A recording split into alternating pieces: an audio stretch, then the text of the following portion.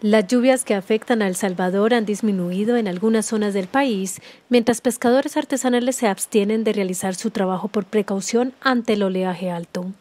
La zona costera del país centroamericano está en alerta roja debido a la tormenta tropical Celia, que se desplaza lentamente al sur de las costas de Guatemala y El Salvador.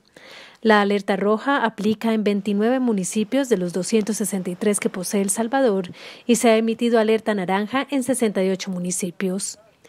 En el puerto de la Libertad, uno de los más importantes del Salvador, se observaron pocas lanchas pesqueras y poca afluencia de turistas en la zona. El comercio también se ha visto disminuido.